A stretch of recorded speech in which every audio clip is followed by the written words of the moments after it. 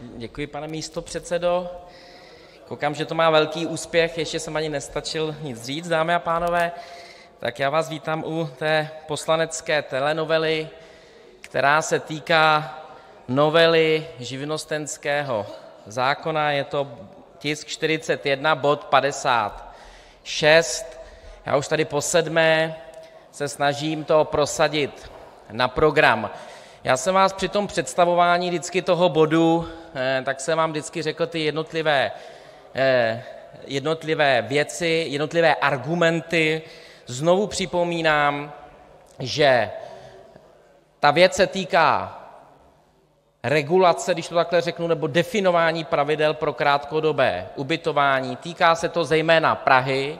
tomu já rozumím, nicméně my, pražští poslanci, to nemůžeme řešit nijak jinak než změnou zákona. Jednou se ten zákon změní, pak už nás tady v této věci konkrétní jako neuvidíte. Nicméně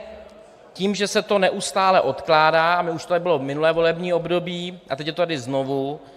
tak se prodlužuje ten marasmus, který teď je v centru hlavního města Prahy. Turisté se začínají vracet, do těch domů se opět začínají vracet, do těch bytů, turisté s krátkodobým ubytováním, opět je to až na výjimky zásadně bez pravidel, obtěžuje to ty majitele bytů, kteří tam skutečně bydlí, a i přesto, že já tady prezentuji návrh, který vzešel ze Zastupitelstva hlavního města Prahy, kde primátorem je Zdeněk Hřib za Pirátskou stranu a v koalici jsou tam TOP 09, STAN, Jenda Čižinský a KDU-ČSL, tak i přesto přes všechno já tady opakovaně narážím na to, že to nechcete doprojednat, protože my už jsme to otevřeli a přerušili. Tak já tedy, vy budete předstírat teď před komunálními volbami, že to řešíte,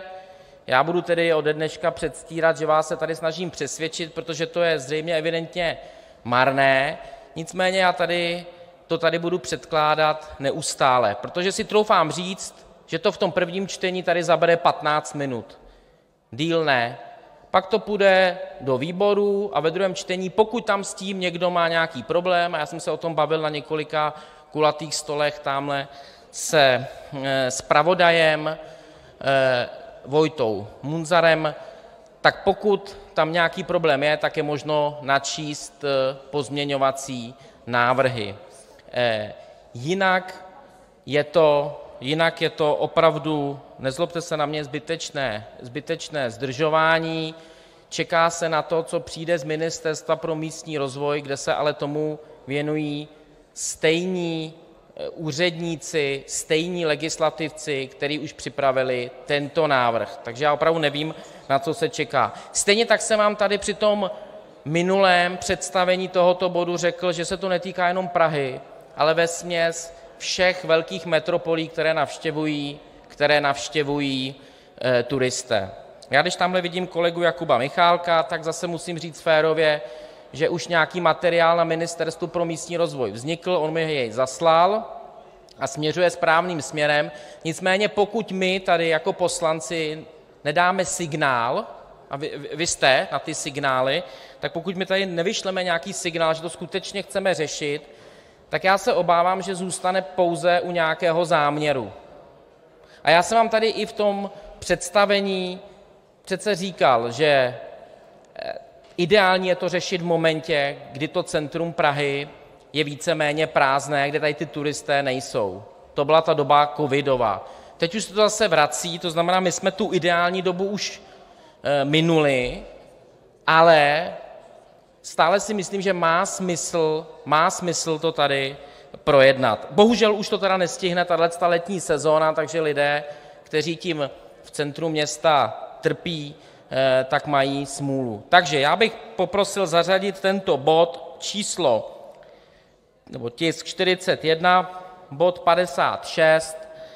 a já dám různé varianty, dneska na 18.30 na pevný čas, druhá varianta na 18.45, protože si troufám říct, že to skutečně za 15 minut stihneme, třetí varianta v pátek jako první bod Myslím si, že tady jde skutečně o dobrou vůli, tady nejde o nějaký čas, že tohle zrovna není norma, kde by se to podle mě zdržovalo, pak se to ukáže hlasováním a já jako rád čestně prohraji. Děkuji za vaši podporu. Děkuji, pane poslanče.